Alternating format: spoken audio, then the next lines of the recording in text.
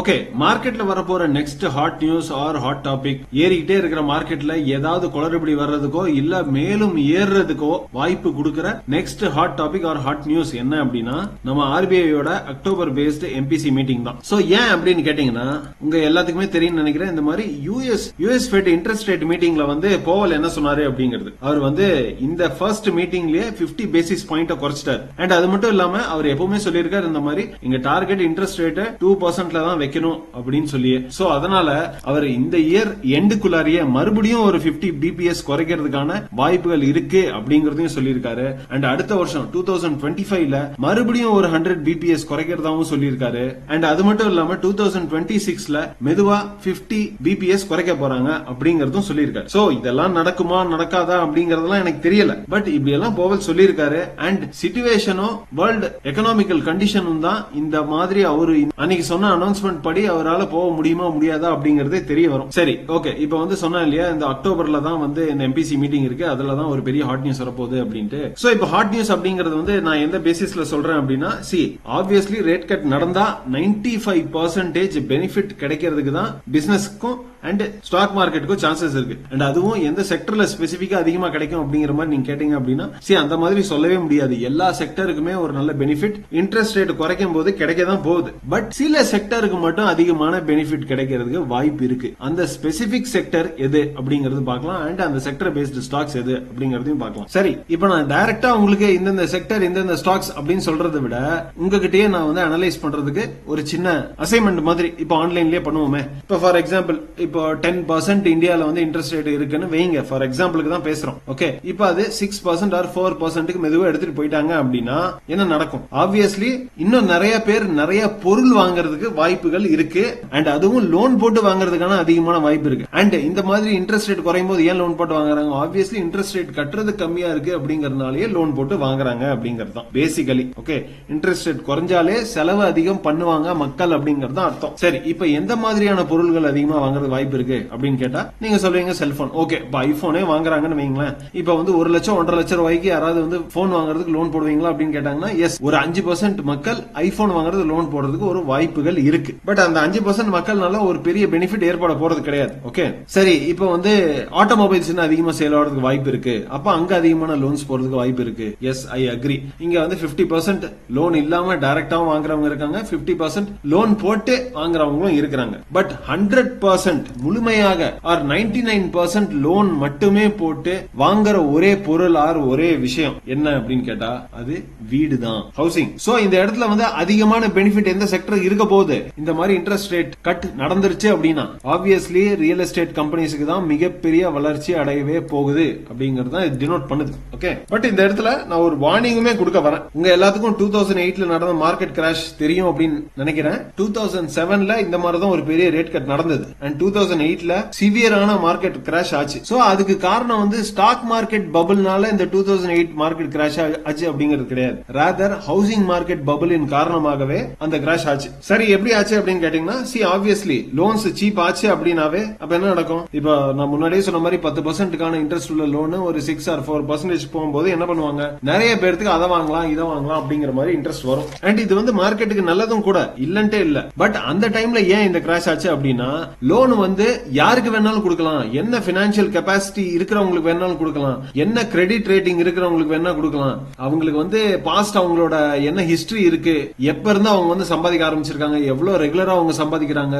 அவங்களோட கிரெடிபிலிட்டி எந்த அளவுக்கு இருக்கு? அவங்களோட ஹேபிட்ஸ் என்ன? அது எதையுமே தெரியாம அந்த சமயத்துல கண்ணா பின்னான்னு வந்து லோன் கொடுக்க ஆரம்பிச்சிட்டாங்க. அண்ட் அந்த லோனை வச்சு ஈவன் வீடு வாங்கணும் இன்ட்ரெஸ்டே இல்லாதவங்க கூட. சரி நம்ம ஒரு லோனை வாங்கி நம்ம ஜஸ்ட் வந்து இந்த வீட்டை வாங்கி அப்படியே கைமாத்தி விட்டோம்னா ஒரு 50% பர்சன்ட் லாபம் கிடைக்கும் ஒரு கோடிக்கான வீடை ரெண்டு கோடி விற்கிறதும் ஒரு கோடிக்கான இன்னும் வீடை மூணு கோடி விற்கிறதும் அப்படிங்கிற மாதிரி ஹெவி டிமாண்ட் ஆயிடுச்சு. அண்ட் சப்ளை உங்களுக்கு எல்லாத்துக்குமே தெரியும். வீடு அப்படின்னாவே லிமிடெட் சப்ளை தான். ஹெவி டிமாண்ட் ஆயிடுச்சு. அதன் காரணமாக பிரைஸ் பயங்கரமா ஏற ஆரம்பிச்சிருச்சு. அண்ட் யாரு வேணாலும் வந்து எந்த கிரெடிட் ரேட்டிங் இருக்கிறவங்க வேணாலும் வந்து வீடு வாங்க ஆரம்பிச்சிட்டாங்க. பினான்சியல் கெபாசிட்டி இல்லாதவங்க எல்லாம் வீடு வாங்க ஆரம்பிச்சிட்டாங்க. ஈவன் இப்பதான் பிசினஸ் ஸ்டார்ட் பண்ணிருக்காங்க or இப்பதான் கெரியர் ஸ்டார்ட் பண்ணிருக்காங்க அப்படிங்கிறவங்க எல்லாம் கூட வந்து வீடு ஆரம்பிச்சிட்டாங்க. சோ அந்த மாதிரி வந்து ஆகும்போது என்னாச்சு? சின்னதா ஒரு கிரைசிஸ் வருது. நிறைய பேர்த்துக்கு வேலை போக ஆரம்பிச்சது. அதே சமயத்துல பிசினஸ் லாஸ் ஆக ஆரம்பிச்சது. ஆர் அந்த இஎம்ஐ கட்ட முடியாம அப்படிங்கிற மாதிரி சுச்சுவேஷன்ல நிறைய பேர் வந்துட்டாங்க. அண்ட் கிரெடிட் ரேட்டிங்ல அதனால ஹேபிட்ஸ் காரணமாக நிறைய பேர் கட்டாம விட்டாங்க. சோ அந்த நிறைய பேரோட என்பிஏ ஆனதின் காரணமாகவே அப்ப என்னாச்சு?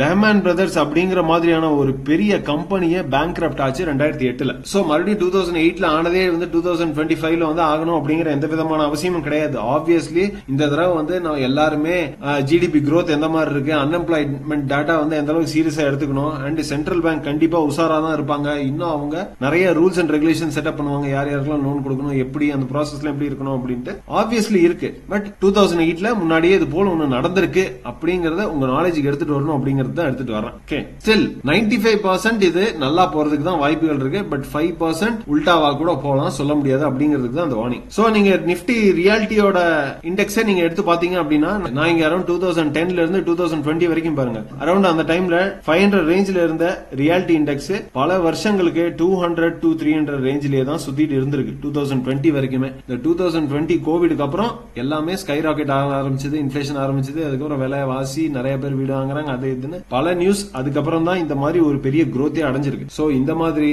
சோ இந்த மாதிரி ரியல் எஸ்டேட் வந்து எல்லா டைமும் எல்லாம் ரன் பண்ணாது. அவங்களுக்கும் ஒரு டைம் வரும். அப்போ பட்டைய கிளப்பிட்டு ரன் பண்ணிரும். டைம் இல்ல அப்படின்னா இந்த மாதிரி பத்து வருஷத்துக்கு இருபது வருஷத்துக்கு படுத்தே கூட கிடக்கும். சோ இதெல்லாமும் ஞாபகம் வச்சுக்கங்க சரி ஓகே இப்போ எந்தெந்த ஸ்டாக்ஸ் எல்லாம் நல்லா போறதுக்கான வாய்ப்புகள் இருக்கு அப்படிங்கறத பார்க்கலாம். சி ஆல்ரெடி நான் என்ன சொல்றேன்? நான் நம்ம இப்ப பார்க்க போற ஸ்டாக்ஸ் வந்து எல்லாமே லார்ஜ் கேப் கிடையாது. எல்லாமே ரிஸ்கிங் கிடையாது. நான் எல்லாத்தையும் ஒரு மிக்ஸா தான் சொல்லியிருக்கேன். அண்ட் நீங்க இன்னமும் போய் சில ஸ்டாக்ஸ் எல்லாம் அனலைஸ் பண்ணி இன்வெஸ்ட் பண்ணலாமா வேணாமா அப்படிங்கறது பார்க்கலாம். பட் எனக்கு இங்க தெரிஞ்ச ஆல்ரெடி நம்ம டிஸ்கஸ் பண்ண ஓரளவுக்கு நல்ல ஸ்டாக்ஸ் எல்லா ரேஞ்சிலையும் அப்படிங்கறது தான் பார்க்க போறோம். ஓகே ஃபர்ஸ்ட் கம்பெனி இந்த லார்ஜ் கேப் கம்பெனிஸ்ல பல ரியாலிட்டி பேஸ்ட் வீடியோஸ் நான் பண்ணும்போது டிஸ்கஸ் பண்ணிருப்பேன் கோத்ரேஜ் ப்ராப்பர்ட்டிஸ் இந்த ஸ்டாக் வந்து அரௌண்ட் டூ தௌசண்ட் டுவெண்ட்டில நைன் ஹண்ட்ரட் சம்திங் ரேஞ்சில இருந்து இன்னைக்கு த்ரீ தௌசண்ட் டூ ஹண்ட்ரட் வரைக்கும் வந்திருக்கு. ஓகே நீங்க கேட்கலாம். முன்னாடியே இது டூ தௌசண்ட் ஃபைவ் ஹண்ட்ரட் ரேஞ்சுக்கு போயிட்டு ஏன் இவ்வளவு பெரிய டவுன்ஃபால் வந்தது அப்படின்ட்டு? சி அந்த டைம்ல காதரேஜ் ப்ராப்பர்ட்டிஸ் என்ன அனௌன்ஸ் பண்ணாங்க அப்படின்னா ஒரு கான்ட்ரவர்ஷியல் கம்பெனி கூட ஒரு டைப் வச்சுக்க போறோம் அப்படிங்கிற மாதிரி அனௌன்ஸ் பண்ணிட்டாங்க. அண்ட் ரீடெவலப்மெண்ட் ப்ராஜெக்ட் வந்து சில எல்லாம் அனௌன்ஸ் பண்ணாங்க. அதுக்கு பயங்கர நெகட்டிவ் ஃபீட்பேக் uh, வந்துச்சு.